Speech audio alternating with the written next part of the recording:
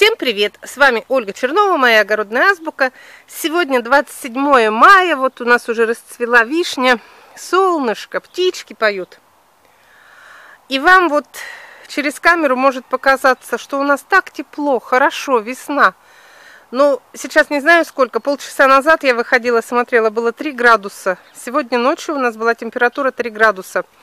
Следующая ночь тоже будет 3 градуса, а потом будет 7 уже.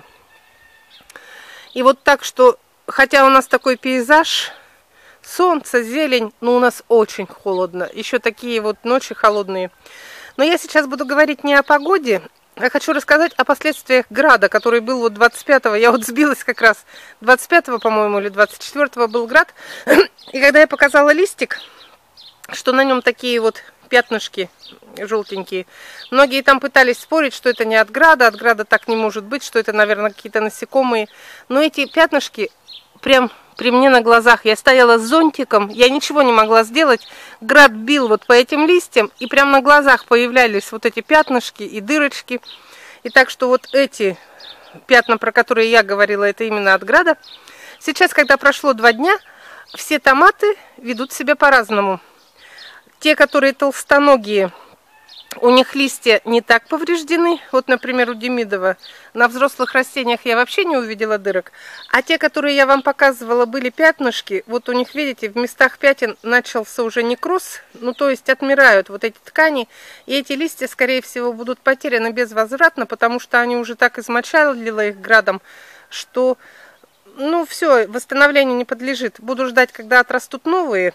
Но сейчас я вам покажу это вот Демидов взрослый, на нем вообще вы видите, как будто града не было.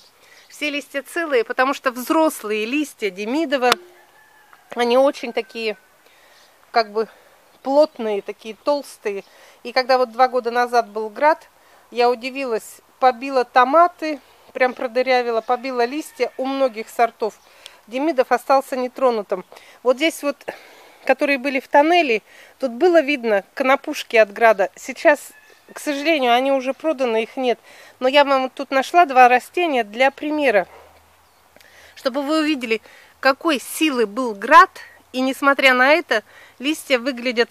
Вот смотрите, вот побитые листья. Это я один сняла, но она вся грядка такая. Вот это те, которые неженки, которые индетерминантные, которых град побил. Видите, где дырка, все начинается некроз и все. А вот Демидов, и, в общем-то, сначала даже и не видно, что как будто бы он пострадал от града. Но я сейчас вам покажу, именно пальцем тыкну, и вы увидите, что он тоже пострадал, и листья тоже даже до порывов все избило. Смотрите, видите конопушки на листиках? Такие светло, маленькие, желтые, и вот лист порван. Вот это порвал. Прям я говорю, у меня на глазах были вот эти порывы. Прям град бил и рвал эти листья. Вот порванный. Потом вот. Видите порыв?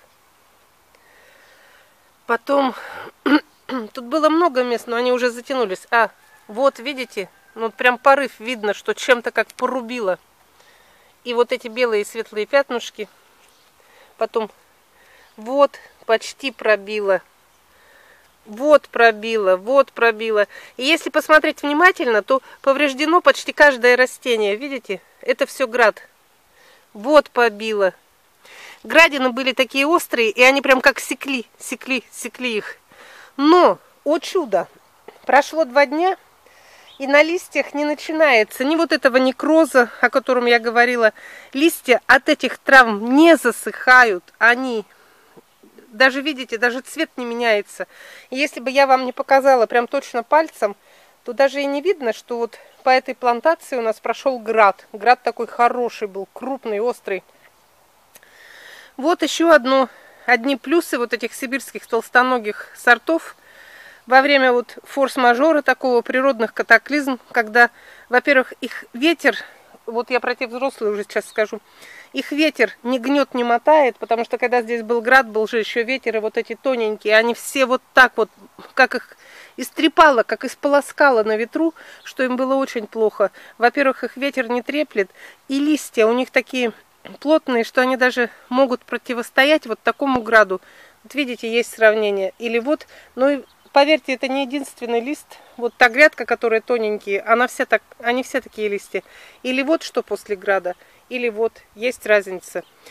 Поэтому большинство сортов у меня вот такие, именно выносливые, именно не капризные. Конечно, эти сорта тоже нужны. И, но большей частью я их высаживаю в теплицу, где они предохранены вот этим поликарбонатом. Хотя два года назад, когда был град, у нас даже поликарбонат пробило, но не насквозь, а одну, ну как одну часть.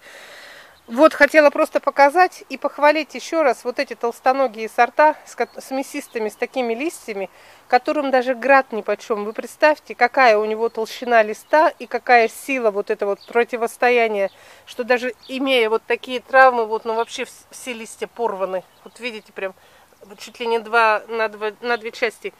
Но они не желтеют, они дальше с улыбочкой продолжают расти, вот эти наши сибиряки. Вот у меня осталась вот эта маленькая вот такая кучка. Все остальные уже уехали куда им надо. И кто их выращивает, люди же знают, они из года в год покупают, они их не нахвалятся. Им ни ветер, ни град не страшен. Ну а вот этих неженок надо, конечно, особо за ними ухаживать. Все, до свидания.